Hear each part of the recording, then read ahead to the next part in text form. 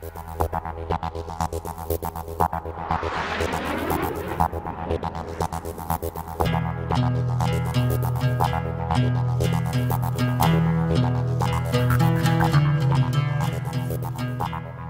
long de la route qui lie la ville de Tricase Porto s'élève avec ses 700 ans d'histoire l'un parmi les exemplaires les plus anciens au monde du chêne Bellani. Autrefois, les glandes produites par les chênes étaient utilisées par les tarnaires de Tricase pendant les étapes de transformation des pots, afin d'obtenir un artefact plus doux grâce à la présence du tannant.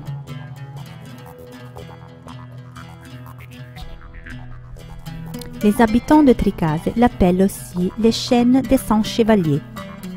En effet, selon une fantaisiste anachronique légende médiévale, une centaine de soldats, conduits par l'empereur Frédéric II de Souabe, trouvèrent refuge sur les grands feuillages.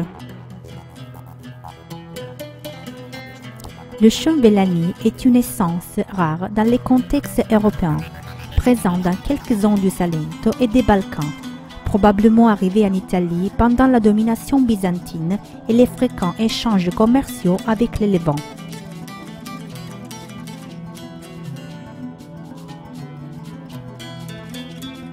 Sa Majesté domine aujourd'hui encore les paysages des campagnes de Tricase et elle est le témoignage de la magnificence de la nature.